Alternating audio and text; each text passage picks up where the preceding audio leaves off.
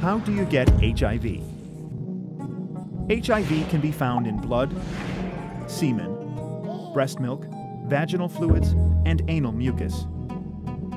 It can be passed on when these fluids enter into another person's body, for example, through sex.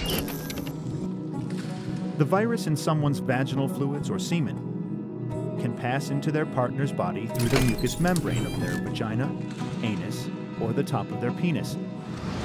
Once the virus is in their blood, it makes copies of itself.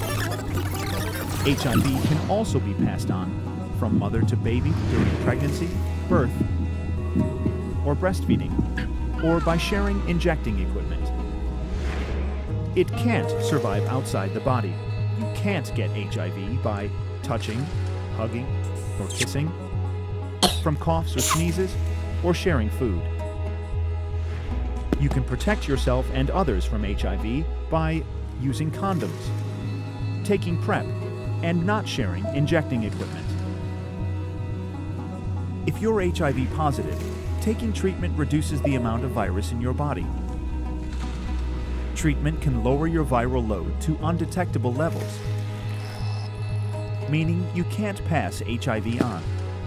If you know how you get HIV, you'll know how to protect yourself.